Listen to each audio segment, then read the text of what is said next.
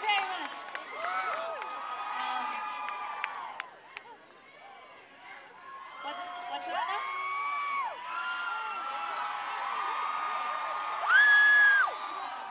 You guys are funny.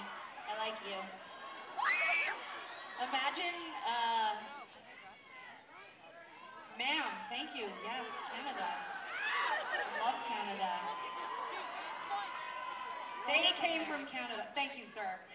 I could only make out the Canada part, but this gentleman stepped in like like a true hero. I really appreciate language hero. What part of Canada are you ladies from? Where'd you come from? Oh Jesus.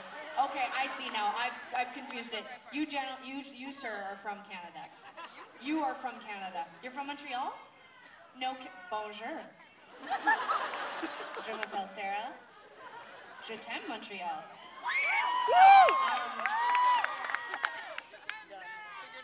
ma'am, you are probably sexy to somebody.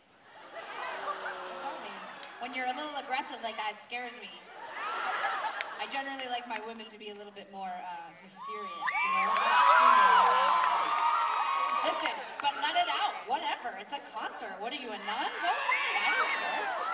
Please. You guys are cute. All right, this one's for Montreal. This one's for louder ladies. Here we go.